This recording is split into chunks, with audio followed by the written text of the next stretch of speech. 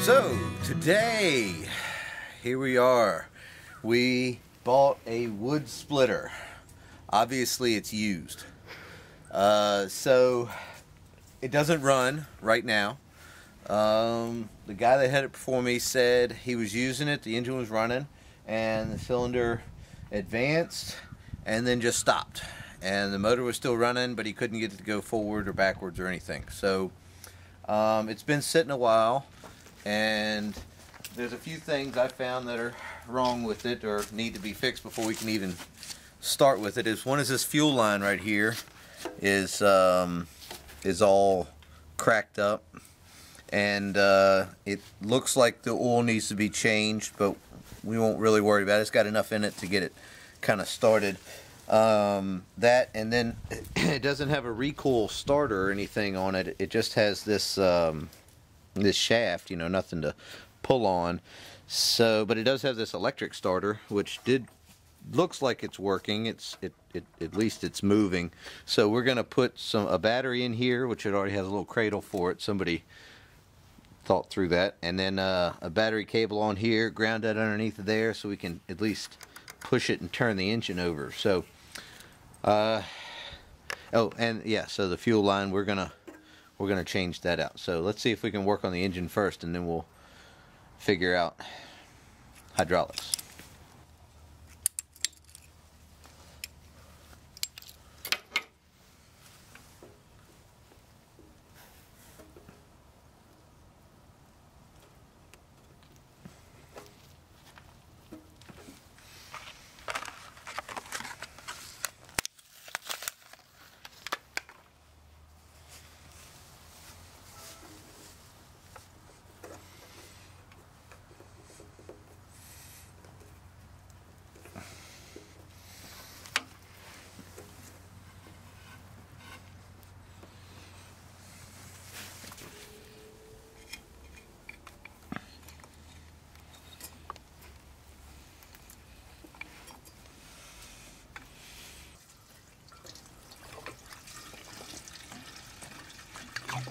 Hopefully that's not diesel.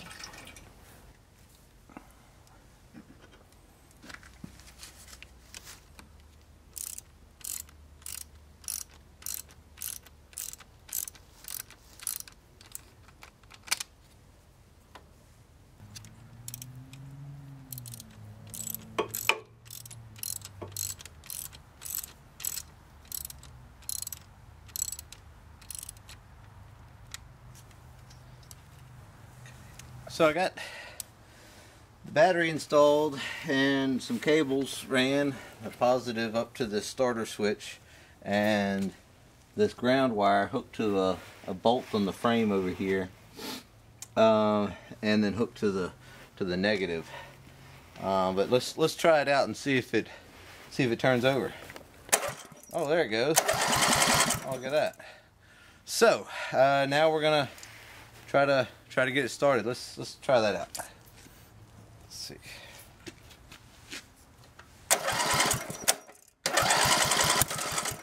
Right, there's something.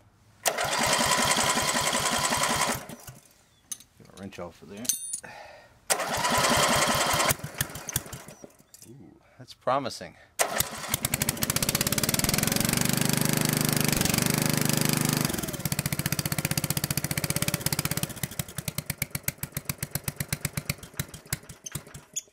Cut it off for now and, uh, and then uh, we're going to check the hydraulic fluid, make sure it's got enough of that in there um, and kind of see what happens. So let's put a little bit of hydraulic fluid in there because I know it's low.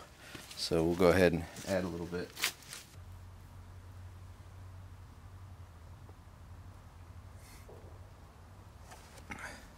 This is ISO 46 hydraulic oil.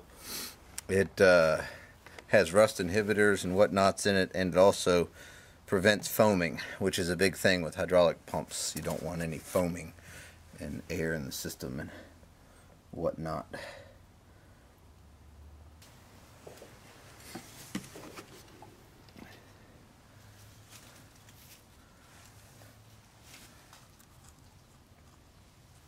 I'm just going to look down in here and see if I can see any. I can't. Uh, I'm gonna try to find something to stick down in there like a little dipstick. So what I got was a little piece of fence wire here. So I'm just gonna use this rag and kind of wipe it off, clean it off a little bit. And uh, we're gonna stick it down in there, kind of mark it right there. So here it is about right here. So uh, I've got a little ways to go. So let's keep adding some.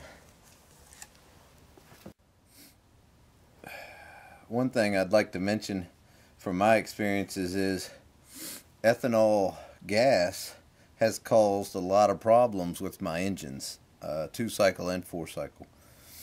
So I had a, a, a, chainsaw that the gas just chewed up.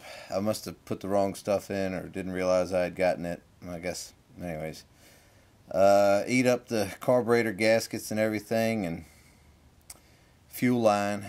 And uh, I believe that's what caused this problem in this one. So I'm just going to keep running non-ethanol gas in this log splitter here until whenever. But uh, it caused all kinds of problems with my uh, rototiller chainsaw um, and my generator.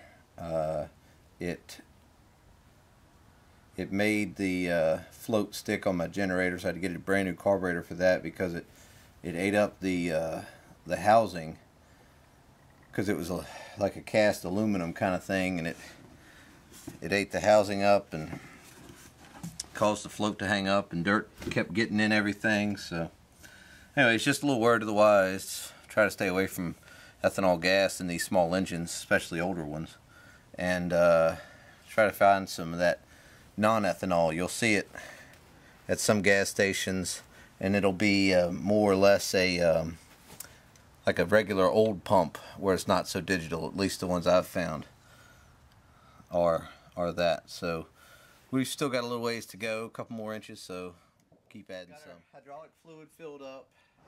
Um, it took two gallons. This is completely empty, was full, so I guess it was low. Sure. Uh, we're going to start this thing up and see if we can get this to move back and forth. Uh, let's see if it even moves. But it started up no problem before, so let's see if it starts up now.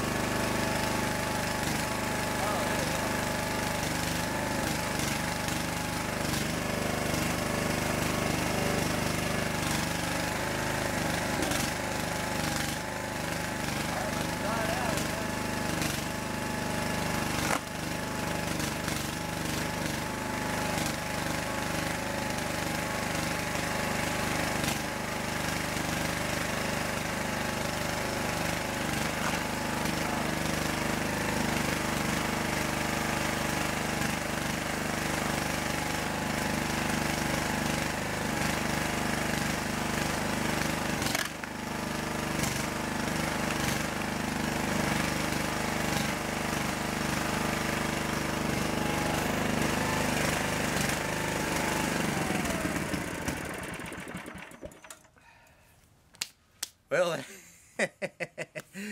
that is the very first time we got that up and running and actually splitting wood. Uh, so I am super stoked uh, because this is so awesome. Uh, we, we've been wanting a wood splitter for a long time. We bought our farm, you know, and uh, we've got tons, literally tons, not joking, of wood uh, up there to split, cut up and split. And uh, this is just a huge blessing to actually have this thing running and splitting and, and it, it, works. So great. All right that's enough for now. Uh, the only other thing I'm going to do is actually uh, is put a filter on right here uh, because I noticed there's no filtration in this whole system. So I'm just going to pop this off put a little nipple uh, filter housing a little spin on filter housing and uh, and plumb that right back into there and into into the output of the uh, the valve. So uh, maybe maybe we'll shoot that next time. But for now, we'll enjoy using the wood.